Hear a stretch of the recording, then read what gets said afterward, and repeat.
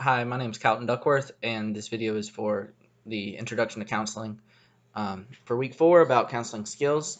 This video is a reflection of three videos that we watched. They were pretty short.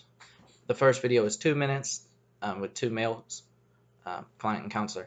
The second video was four minutes with a female and a female, and the third video was also four minutes with a male counselor and a female client.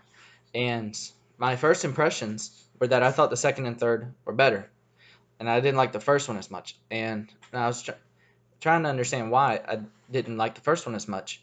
Um, and a couple of reasons came into my mind. Uh, I noticed that how much that the counselor is speaking, how much the client was speaking, was almost 50 50 in that one. And I felt like that's inappropriate. This is probably, you know, there's probably a better way to describe it, but I feel like and for every one word the counselor says, that should guide the client to speak 10 words. So that, but they felt like they were like 40, 60. I just didn't feel like that was a good ratio.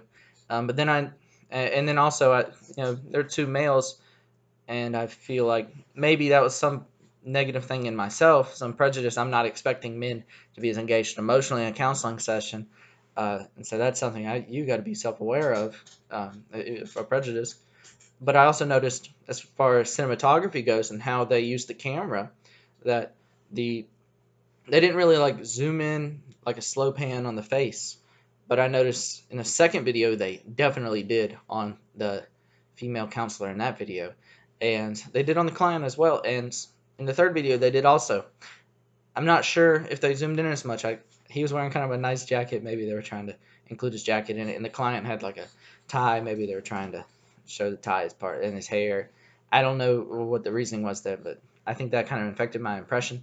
Second time I watched them, I found the page in the book, in the textbook, about the skills, and I went and I kind of put a tally beside the skills as I saw them appear. Um, I saw less skills in the first video. Um, I saw pretty much every skill in the second and the third video, which was awesome. It was uh, it under, explains why I liked those a little more. But even with the first video, he was speaking so much because he was reflecting meaning, he was um, paraphrasing, and he was summarizing what the client was telling him. And so his speech was appropriate. And um, it was intentional. It was a skill that he was taught. So maybe there's a better way to do it. Maybe there's not. It was also only a two minute video maybe if we had zoomed out a little more, had four minutes of that conversation, we would have seen things like open questions and encouragers.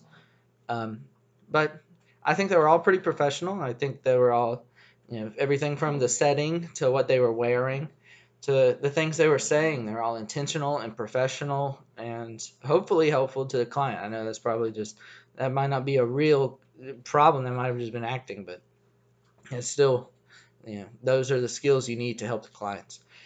So I'm looking forward to learning more about these skills because I want to know, you know, I don't want to be like, let's say the first, first guy was um, not acting as effectively as possible. I don't want to be because he wasn't using the skills that like necessarily the best. I don't want to do that if that's what was happening. I want to know the best way to use like okay maybe an open-ended question and then maybe a maybe a wait until the end for a summary reflect some feeling kind of repeat back what they're saying in the best way possible so. I look forward to learning more about